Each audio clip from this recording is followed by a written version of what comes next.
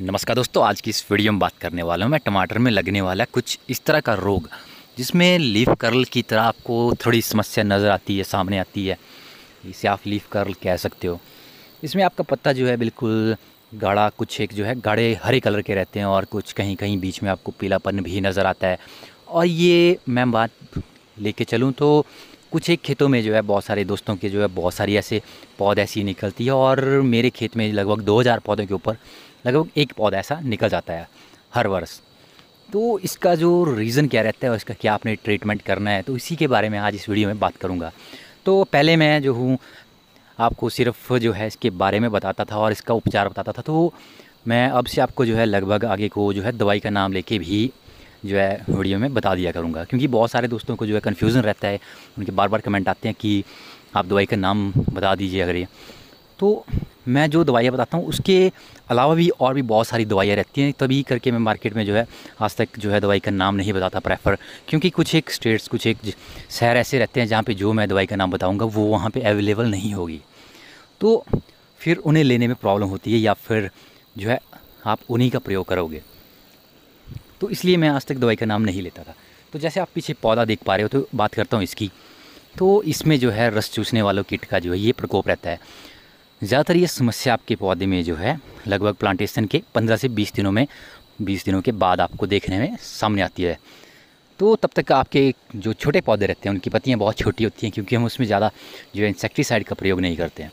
अगर ज़्यादा कर दें तो उससे भी हमारा पौधा जो झुलस जाता है। तो हम जो है बिल्कुल अवॉइड करते हैं छोटी स्टेज में अपने पौधे को जो है कीटनाशक स्प्रे करना हैवी वाली। तो जो रस चूसने वाले कीट रहते हैं, वो हमारे जो है सिस्टमिक इंसेक्टिसाइड से ही कंट्रोल होते हैं। तो इसमें आ जाता है आपका जो माइट्स माइट्स वगैरह या फिर वाइट फ्लाई आपकी आ जाती है या एफर्ट्स वगैरह आ जाते हैं तो वो चीज़ें ऐसी रहती हैं जो पत्तों के पिछली तरफ़ रहती है और वहाँ से जो है रस चूसती रहती हैं। और उनसे वो केवल रस्सी नहीं चूसती हैं, वो एक तरह का वायरस भी पौधे के अंदर जो है इंजर्ट कर देती है, जो कि धीरे धीरे इस इस तरह का हो जाता है। इसमें आपको पत्तियाँ जो है थोड़ी हार्ड नज़र आएँगी। इसमें आपको फूल तो नज़र आएँगे आते हुए, पर वो जो है फल में तब्दील नहीं होंगे। और इसकी ग्रोथ की बात करूँ तो ग्रोथ इसकी जो है लगभग जो आपके सामान्य पौधे होते हैं, उससे लगभग आधी इसकी ग्रोथ रहती है। और ये लाइफ टाइम आपका ऐसे ही रहेगा। तो इसके उपचार के लिए आप इसके ऊपर जो है बहुत सारी कंपनी के इंसेक्टिसाइड का पहले प्रयोग कर जैसे कि आपका सीजेंटा का एक्ट्रा हो गया हैरो हो गया, जिसमें थायोमेथॉक्सियो में हो जाता आपका। और बायर का एमेडाक्लोरोपाइड और फेम हो गया आपका बायर का। उसके बाद जैसे आपका एचपीएम का सेवन स्टार आ गया, आपका एरो आ गया एक्टर आ गया, ऐसी चीज़ों की आप इसके ऊपर स्प्रे करोगे तो उससे जो है वो किट कंट्रोल हो जाएगा।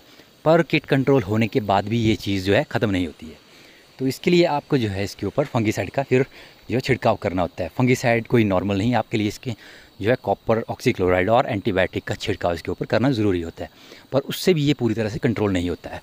आपके लगभग हज़ार पौधों के ऊपर एक दो ऐसा पौधों में निकलता है ये चीज़। तो आप ये करिए कि इस पौधे को जो है जड़ से उखाड़ के जो है कहीं दूर फेंक दीजिए या इसको दबा दीजिए कहीं गड्ढे में। और बाकी जितनी आपकी खेप रहती है आसपास की, उसमें जो है कॉपर ऑक्सीक्लोराइड और एंटीबायोटिक का छिड़काव कर दें। तो इससे होगा कि ये वायरस जो है आपका एक पौधे से दूसरे फ़ायदे में नहीं फैलेगा और बाकी के पौधे आपके जो है स्वस्थ रहेंगे। और दोस्तों, इस पौधे को खेत में रख के आपको आगे कुछ फ़ायदा होने वाला भी नहीं है।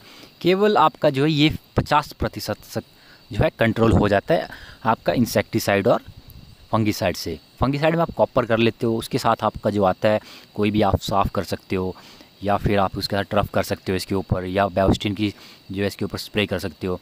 आपका एम पैंतालीस आ गया। तो उसकी स्प्रे करके भी आपको थोड़ा कंट्रोल कर सकते हो फिफ्टी परसेंट तक। और जितनी पत्तियों में जो है इनिशियल स्टेज में आपका ये निकल जाता है तो उन पत्तियों को एकदम से काट के जो आप खेत से दूर फेंक दें, ताकि और पत्ते और जो आपके पौधे हैं, वो जो है इसके साथ वायरस की चपेट में ना आए, ताकि आपको नुकसान ज़्यादा ना हो। इसके अलावा भी कोई सवाल, सुझाव रह जाता है दोस्तों तो कमेंट बॉक्स में ज़रूर लिखें। अपना मूल्य समय देने के लिए बहुत बहुत धन्यवाद। अगर वीडियो अच्छा लगा हो तो लाइक ज़रूर कर दें।